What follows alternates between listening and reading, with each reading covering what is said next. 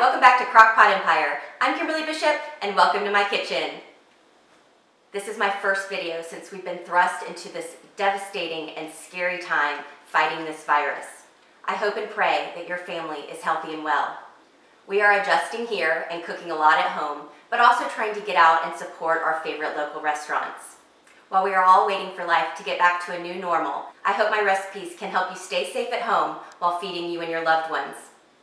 So with that being said, let's get cooking my husband Fred's favorite quarantine meal, cracked chicken in the Crock-Pot Express multi-cooker on pressure cooker mode. Come on, let's get started. We're going to start by adding two to three chicken breasts to our inner pot. You'll need approximately about two pounds. And then we're just going to generously season the chicken with salt and pepper. Next, add a packet of ranch salad dressing seasoning mix, a half a cup to a cup of chicken broth, depending upon how thick you want your cracked chicken. You can also substitute water in place of the chicken broth if you don't have any, but I found that it's much more flavorful if you use chicken broth. And then just place one 8 ounce block of cream cheese right on top.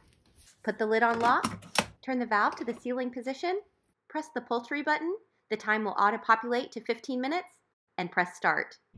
If you want to slow cook it, press the slow cook button. It will auto-populate to high for 4 hours and press start.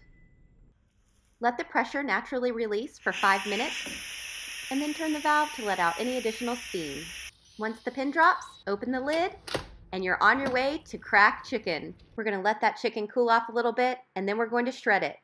Whether that be with bear paws, that's my favorite way, or you can just take the chicken out and put it on a plate and shred it with two forks. Once your chicken is nice and shredded, you're going to add in two cups of shredded cheddar cheese. We use sharp, but mild will work just fine too. Then we're just going to give it a nice big stir and help that cheese melt a little bit, get it all incorporated. And then we're just going to put the lid back on for about five minutes to help that cheese get ooey and gooey and super melted. Give it one more big stir, and it's time to add the star of the show, bacon we're going to add one 16 ounce package of cooked and crumbled bacon. I have to be real with y'all. I may have snuck a few pieces while I was cooking it, so maybe not a whole package because I've already eaten some. Can you blame me though? I'm sure most of you are going to do the exact same thing. And once that's all mixed together, you officially have crack chicken, and it is delicious.